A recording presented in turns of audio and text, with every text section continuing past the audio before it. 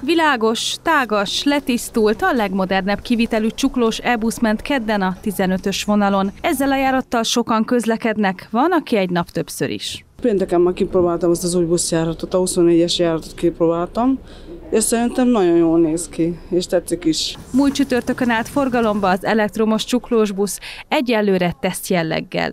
Jól látom, alacsony podos is ráadásul, nem olyan magas is, és könnyen fel lehet szállni is rá a buszra. A busz 18 méter hosszú, három tengelyes, alacsony padlós, 45 ülőhelyes és kimondottan városi használatra tervezték.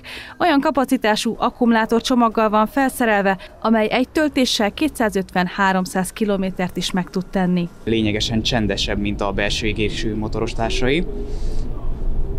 Meg hát úgy jobban gyorsul szerintem, mint a többi.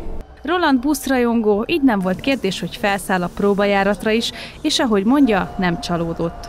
Az Emine az egy nagyon, nagyon ismert gyártó, és ugye ez az elektromos busz típusa is, hát nekem legalábbis nagyon-nagyon tetszik és tényleg bízok abban, hogy ez elnyeri a járművezetők tetszését is, illetve a, a az utasok tetszését is. Április 27-ig tart az elektromos csuklós busz próbaidőszaka, ami alatt a korábbi gyakorlathoz hasonlóan most is ingyenesen utazhatunk vele.